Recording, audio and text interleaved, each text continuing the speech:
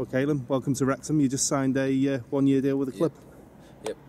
Um, you're happy to join Wrexham? Yeah, I'm absolutely buzzing. Uh, I've, I've been here. I've been here for 20 minutes now, and it's just I was just overwhelmed with uh, everything. The uh, the facility, training facilities, and the uh, and the ground here is, is really really amazing. Sort of thing. I just can't wait to start uh, playing like football now. So yeah, it's brilliant.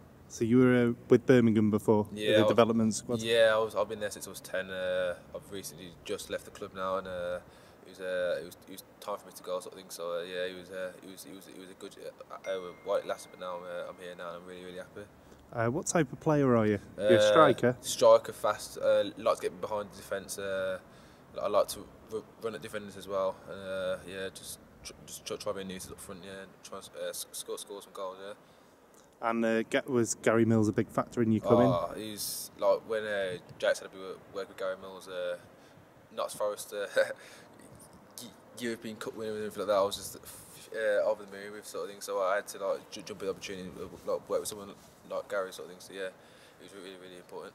So promotion's the main aim this season. Yeah. Back to the football Yeah, league. yeah. How- do you think you'll be able to help with some goals yeah, that? hopefully, yeah, definitely. I, I just want to be in, in in the thick of it and just helping the team like like succeed this season. And uh, I just want to like to start now and just like concentrate on my, on my, football.